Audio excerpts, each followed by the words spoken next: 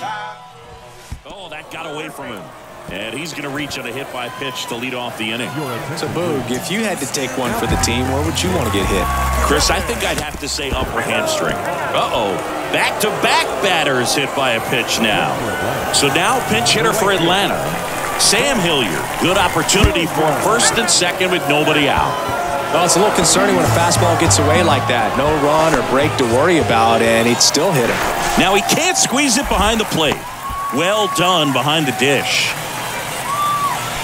Now a lot of screaming from inside the dugout.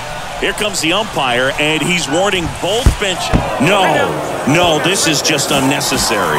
You know, Boog, you always say how important it is to have a good feel for the game. I, I say after the game, you step into the box, I'll throw some fastballs at you. No, actually, I think we're good, Chris.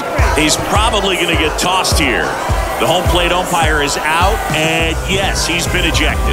Well, they must have known he was getting thrown out after a warning had already been issued, and there's no questioning this decision.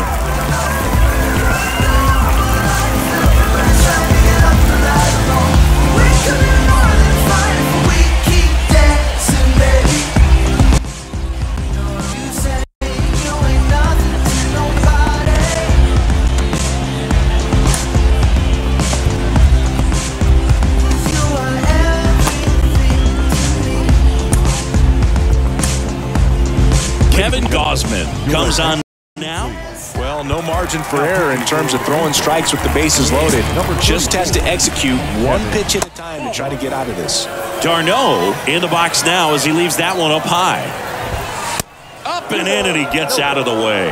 Kevin Gausman hails from Colorado, but he played his. Oh, he hit him, and that brings home a run. That's probably the last pitch he's going to throw. Here comes the umpire, and he's out of here.